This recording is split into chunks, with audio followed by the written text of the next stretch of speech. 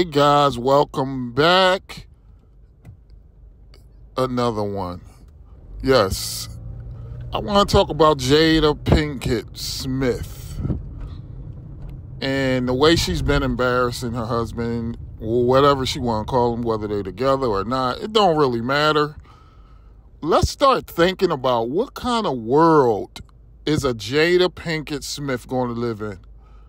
I don't know how old she is. Maybe in her late 40s, maybe 50. But if you're a woman like that is dependent on Will Smith to always take her back. This is why I say simps are dangerous. So she's going to live her life like that, disrespect him, belittle him, degrade him, and all that.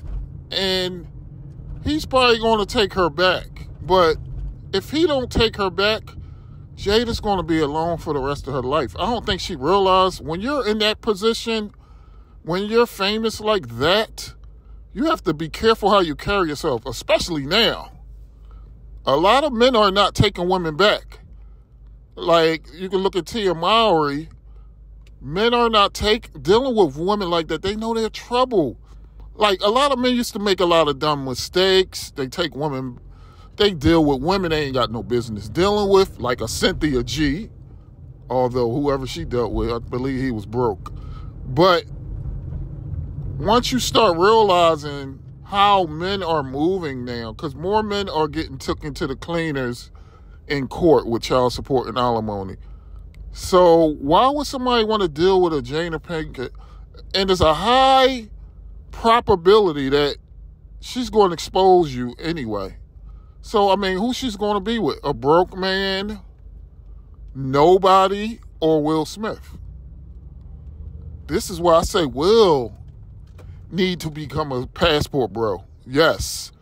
Get you a little African in a small little village somewhere. Make her your queen. Make sure you always stay in alpha mode.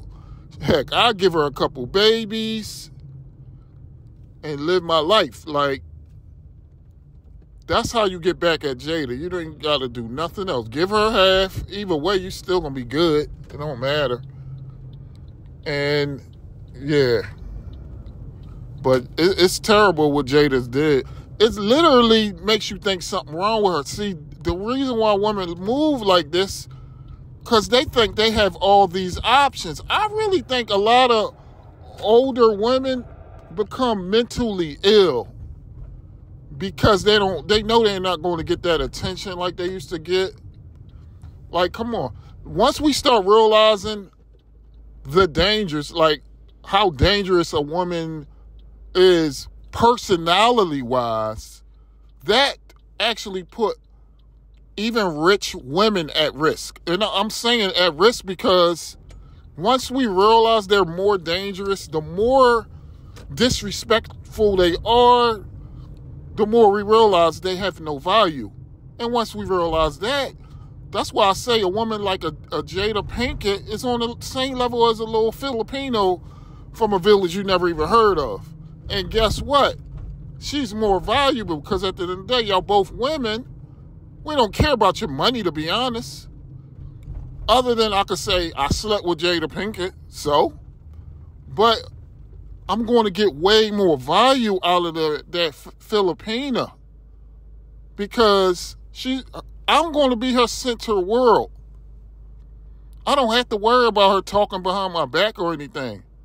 So the more these women do, the more they open our eyes.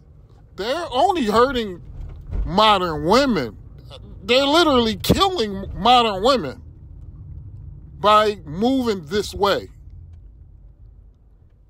it's it's it's it's nothing good out of it. You're not doing women a favor by emasculating men. You're actually opening men's eyes to say, I'm not going to be Will Smith.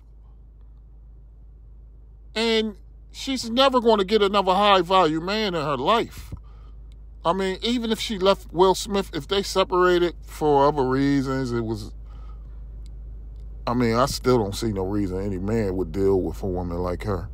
But let's just say they did separate on good terms. Somebody might have seen value in her.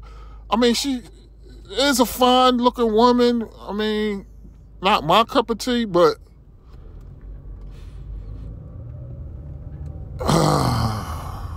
like you just destroyed your heart. I mean, she probably didn't have much of a heart, but she destroyed her heart. Like she will never find love again. And I know women probably gonna come on here and attack me like crazy for saying that.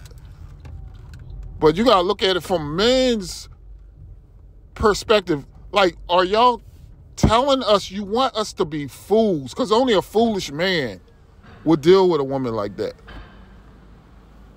Only a sucker would deal with her. Because that's what y'all looking for most of the time anyway. A sucker. Y'all not looking for no good situation. They either want a sucker or they want a high value man that got all the options in the world. And a man like that is gonna mess with the best of the best. Like like uh Leonardo DiCaprio, he gets the best of the best, and once they're used up, he toss them toss them to the wayside. Yes. That's what high value men do. They don't have to take you serious. They just rotate. Cause that's all we doing with American women anyway. They're used up. I don't care if they celebrities. By the time these celebrity women get married, they done been with like three or four men. They're used up too. We just don't realize what a used up woman is. We don't know what a valuable woman is in America. And it's sad we don't have fathers having those conversations, warning our sons what a, da- a good woman is, what a dangerous woman is. The more men she been with, the more dangerous she is. The more likely is she's going to leave you. But what can I say? I don't know. Anyway, like, comment, subscribe. Peace.